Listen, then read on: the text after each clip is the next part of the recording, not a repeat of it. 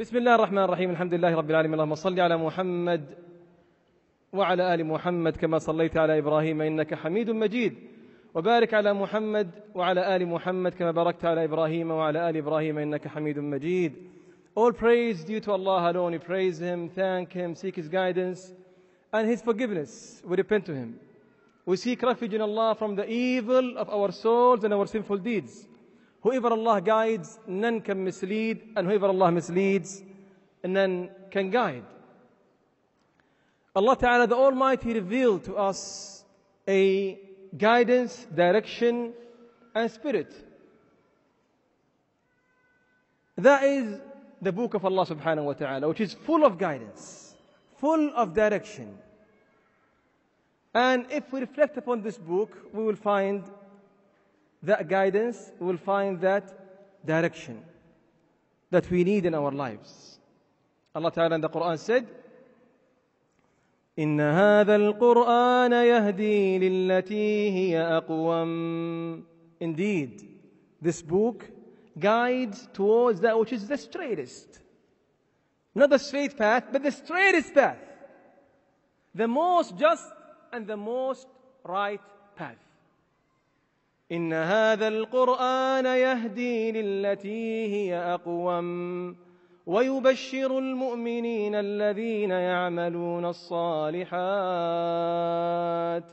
أن لهم أجرا كبيرا and it gives glad tidings to those believing men and women that they will have a great reward from Allah subhanahu wa ta'ala. So in every confusion, in every dilemma, in every problem, in every challenge that you face in your life, go back to this book. It will give you direction, it will give you guidance.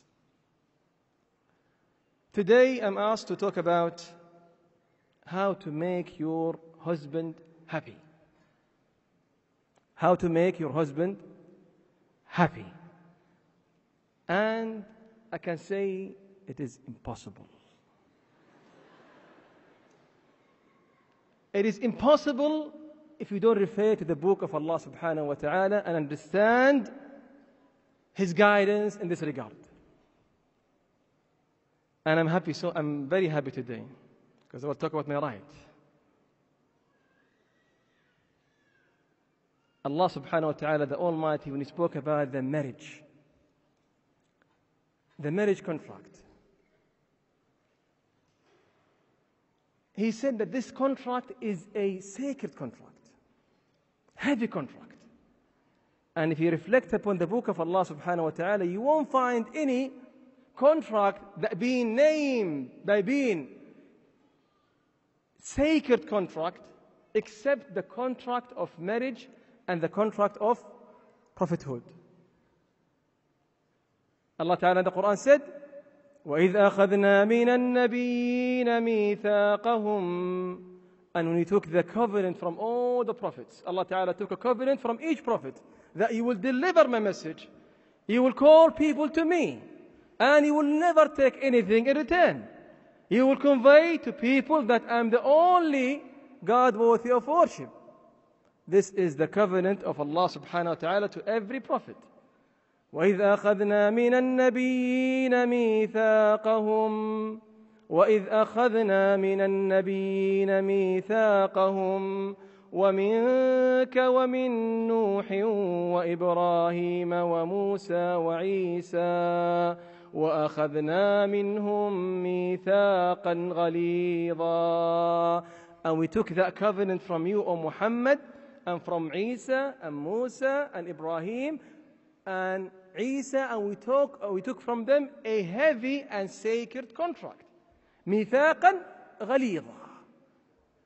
And when he spoke about marriage, he says subhanahu wa ta'ala, وكيف تأخذونه وقد أفضى بعضكم إلى بعض وأخذن منكم ميثاقا غليظا How would you, how would you think of asking the dowry back after you live together and they have taken from you a sacred contract, heavy contract, ميثاقا غليظا Once we realize that once we enter to this relationship, the contract of marriage, that this contract is very sacred in the sight of Allah subhanahu wa ta'ala. Once we understand that there is rights upon us and rights for us, and everyone abide by that, we can create a happy family. We can create a strong family. You know, the lowest rate of divorce in the Muslim world is in Malaysia. The rate there is almost 7%. And the reason why, because in Malaysia you cannot get married until you get a marriage license. In that license, you cannot obtain it until you go through a course. Course in marriage. How you can live with another person. What is the right of the husband? What is the right of the wife? And that's why the divorce rate in Malaysia was reduced from 32% to 7%. Because people, they are aware of what they are entering into. It is very important that we refer to the book of Allah subhanahu wa ta'ala and the sunnah of Muhammad sallallahu alayhi wa sallam when it comes in how we can make each other happy and how we can create a happy family. Let me ask you first, because I don't know how many of you are married here. Okay, those who are married, please raise your hand. MashaAllah. Those who are not married, raise two hands. MashaAllah. Those who have two wives, raise three hands. None, alhamdulillah, mashallah. Except you.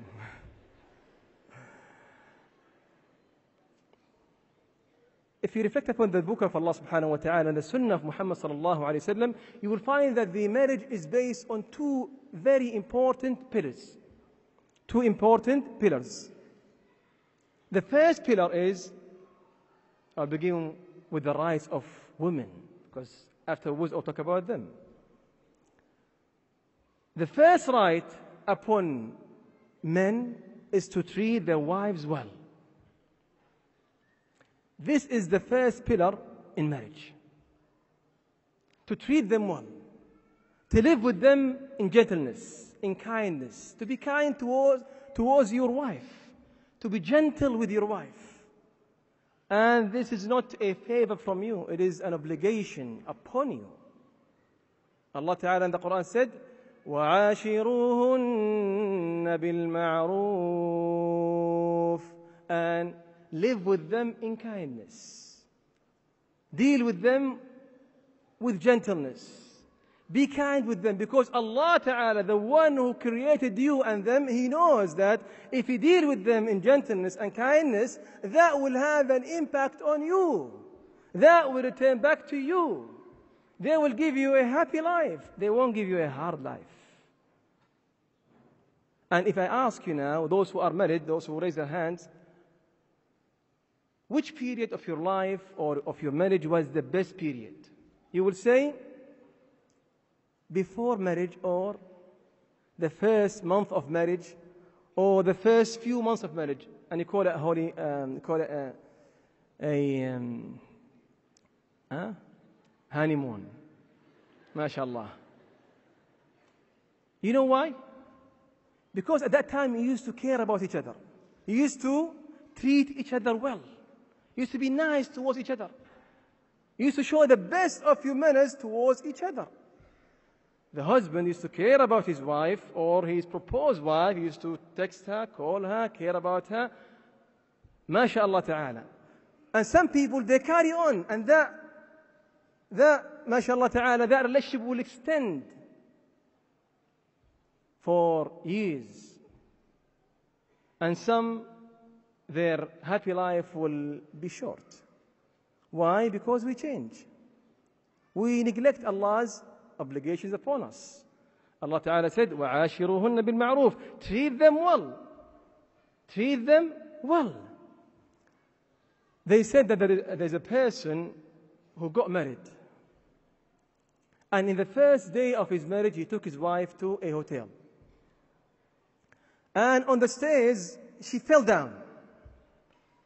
He was, mashallah, full of care about her and full, mashallah ta'ala, of gentleness. Are you okay? Shall I help you? Shall I call the ambulance?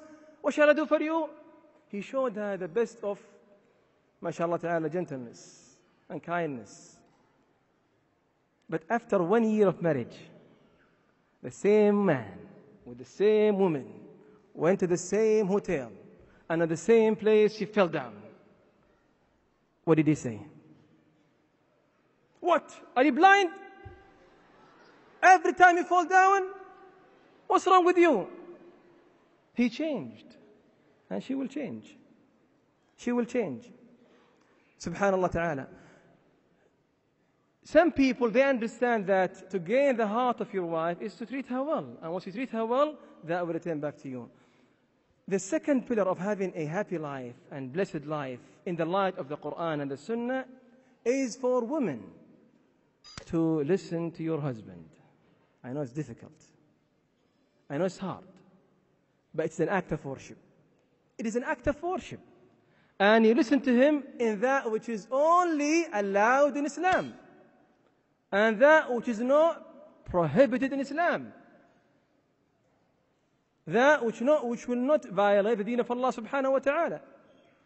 You listen to him. And that's why the Nabi sallallahu alayhi wa sallam said, إذا صلت المرأة خمسها وصامت شهرها وأطاعت زوجها وحفظت فرجها If the woman prayed her five prayers and she offered her zakah or, or fasted her month and she obeyed her husband she will enter Jannah with the greatest of ease. Because we have a ship and we need to have a leader. We cannot have two leaders. One person should lead. And he can always give feedback, inshallah ta'ala. Can always give a feedback, inshallah ta'ala, to your husband. And he can, and husbands should not take advantage, should consult you. The Nabi sallallahu alayhi wasallam used to, used to consult his wives about important things, even outside the marriage issue. But in Islam, for marriage to stay strong, Allah Ta'ala gave the husband that right. And He gave you a right, which is to treat you well. He has to treat you well. Let me move to giving you quick advice, sisters. How to make your husband happy. First of all, be patient. Be patient. You will never be able to harvest the fruits of your marriage in the first year or in the first years. It might take time. Be, be patient and always remember that the most difficult period of your marriage is the first period. The first years of marriage is the most difficult period. Secondly, lower your expectation. Lower your expectation. One of our main problems is that we have high expectations When we get married, we think that this man will bring for me everything. This man is the man that will bring whatever I ask.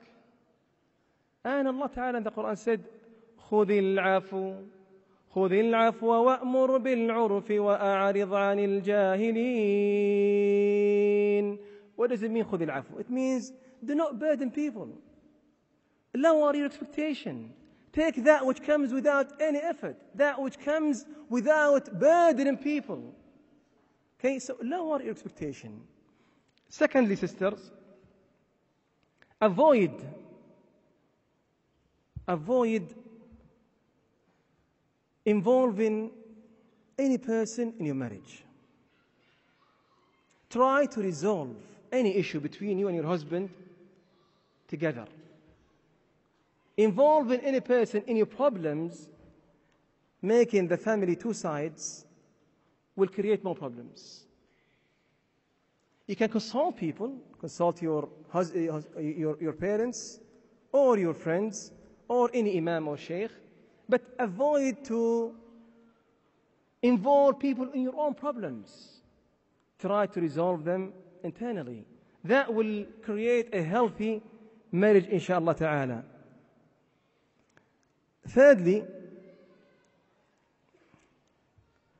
avoid comparing your life with other people's life. Try to live with the capacity of your husband, his affordability.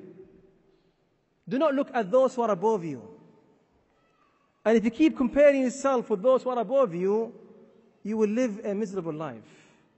And you will bring stress to your husband. He will feel that you are not, you will never be content. You will never be happy. Allah Ta'ala in the Quran said, ولا تمدن عينيك إلى ما متعنا به أزواجا منهم ولا تمدن عينيك إلى ما متعنا به أزواجا منهم زهرة الحياة الدنيا لنفتنهم فيه ورزق ربك خير وأبقى Do not look at the bounties and the good life that we have given to other people. We have given them that as a test. Don't look at that. And this is a direction to the Nabi sallallahu alayhi wasallam. What about us? In fact, you should look at those who are less than you, those who are under you, under your level. Look at them, then you will become appreciative to Allah subhanahu wa ta'ala. You will be thankful to Allah subhanahu wa ta'ala. Look at those who are living less than you. Then you will appreciate whatever your husband is doing for you. And some sisters, wallahi, they are very good in this. They appreciate their husband. Whatever their husband bring for them, they thank them for that. And they are happy with small things. Small things make them happy. And that will encourage the husband to bring more and to do more. But if whatever your, your uh, spouse bring for you and you are, you are not happy, you're not content, he will say, What's the point? Why shall I do that for her? He will give up. So if you are smart, always be appreciative. Be thankful. Allah subhanahu wa ta'ala will give you better. لَإِن شَكَرْتُمْ لَأَزِيدَنَّكُمْ And likewise, people generally, if you are appreciative and thankful, they will think about how to make you more happy. Subhanallah. Some people, subhanAllah, if you want to know يعني, how they love their wives, because of the wife treatment and her nice approach and her patience and so on and so forth, they make dua that Allah subhanahu wa ta'ala take their lives before their wives. Because they, can, because they cannot afford losing their wives. They say in their dua, Oh Allah, make my, take my life first. I don't want to be bereaved with my wife. While some husbands, they make dua, Oh Allah, take the soul of my wife in the nearest opportunity. Or, Oh Allah, find for me a way out from this trouble. If you want to know the value of yourself in the sight of your husband, maybe you can check his mobile. I don't mean to check his mobile. Can check your name in his mobile. How he names you, mashallah ta'ala. Does he name you with honey, my honey, or my love, or my everlasting love? Or he called you boss, dilemma, disaster. Or maybe he give you a number, number one. And that means he has another number.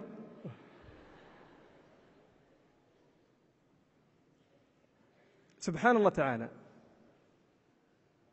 Some, some wives, subhanAllah, they do their best to treat their husbands very good, very nice, and that will bring happiness, will bring tranquility in the house. So it begins from the husband, and then also you have a duty to treat him well as well. Treat him well. Let me move to another point now. when he arrives home, when he returns back from work, how do you receive him? Should you receive him with, mashallah ta'ala, beautiful clothes, nice clothes? You put perfume, and you greet him, welcome, I miss you so much. How was your work? Just comfort him. Ask about his challenges and how he spent the day. If you do that, he will feel happy to come early to home. But as soon as, if he, as soon as he returns back to home, if you are waiting there to question him, where have you been? Why you are late? Or you have a list of demands. He will choose to stay the night with, his friends or spend the time with, his friends. So as soon as he returns back to home, make sure that you welcome him and, and meet him with nice words, nice greetings. And give him time, attention. I know you have kids, if you have kids and you are busy with them, but once he returns back to home, give him time, give him attention. Some women, subhanAllah, they are busy either with their children or with their mobile. The husband, sometimes he feels jealous of the, of the mobile. Why? Because the wife is busy with the mobile, looking at the Facebook, looking at WhatsApp, looking at all of those social media. And I remember one man said to his wife, it's a joke, said, he saw her very engaged with her mobile. He said, I wish that I am that mobile. I wish that I am that mobile so you can give me some attention.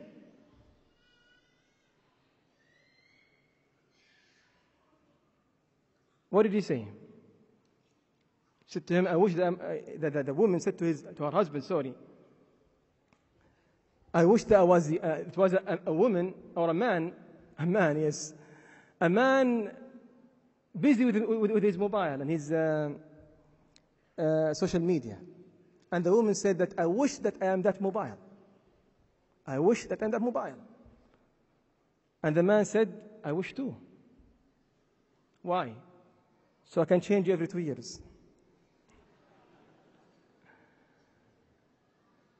Being busy with those devices and neglecting your wives, neglecting your husbands is wrong. As soon as the husband comes home, you have to give him time, attention, and look after his needs.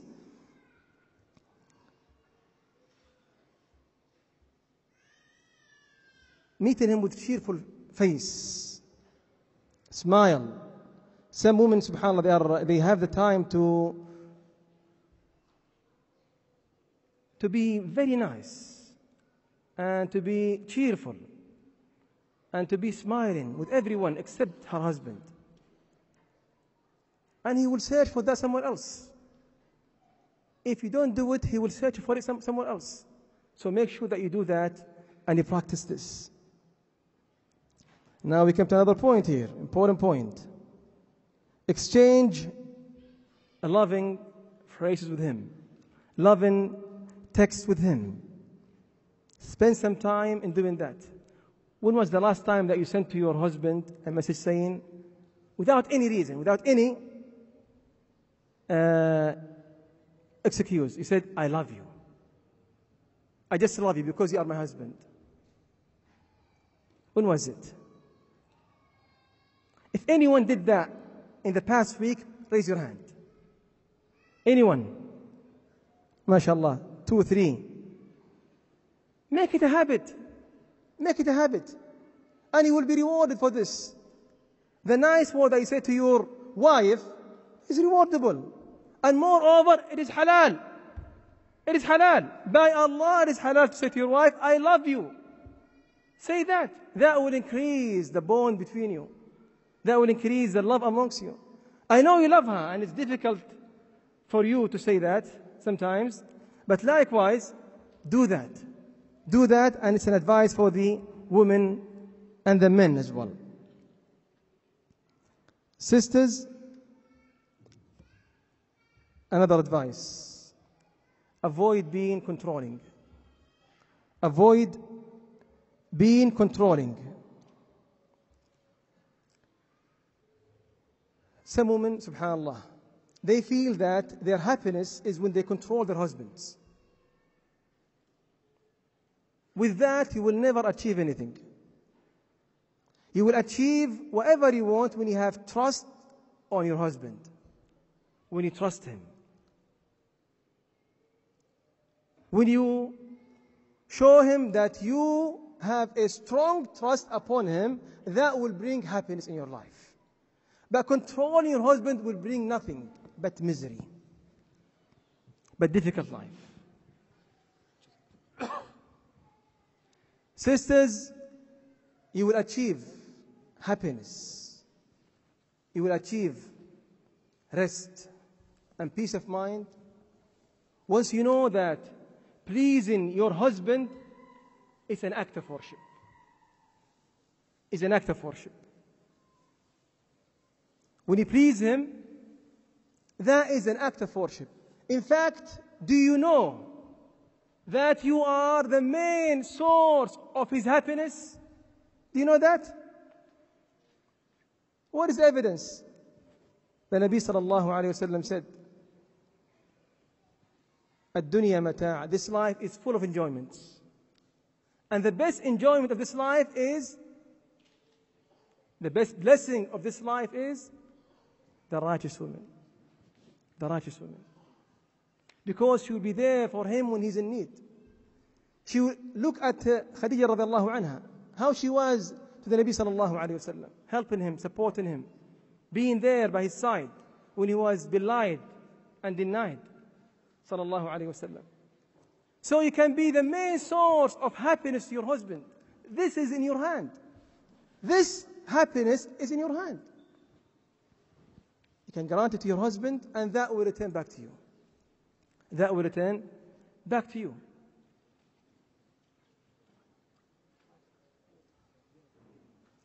I know a, or they say that there is an imam who was given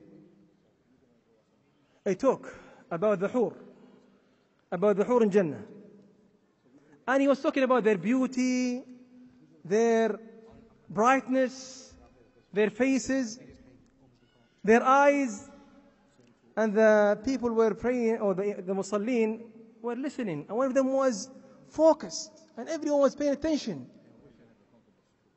One of them was talking to himself, saying, Alhamdulillah, I'm going to have this, inshallah, in Jannah, and I will get rid of my wife. Allahu Akbar. He was very happy and pleased because he's controlled at home.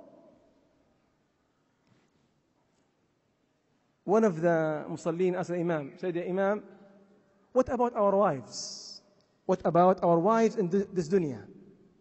MashaAllah, I spoke about the huris in Jannah. What about our wives?